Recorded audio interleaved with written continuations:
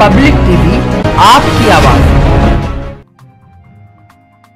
दो करोड़ के विकास के टेंडर पास होने के बाद क्षेत्रवासियों के साथ उस पैसे को सही दिशा में लगाने के लिए महापौर विनोद अग्रवाल द्वारा वार्ड 44 बलदेवपुरी और वार्ड 36 सूरजनगर का पैदल भ्रमण कर निरीक्षण किया गया। उन्होंने वहाँ पर चौपाल लगाकर क्षेत्रवासियों की समस्याओं को सुना और निस्तारण का आदेश दिया।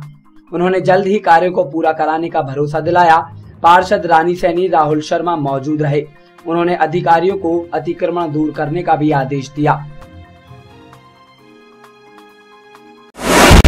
पब्लिक टीवी, आपकी आवाज़।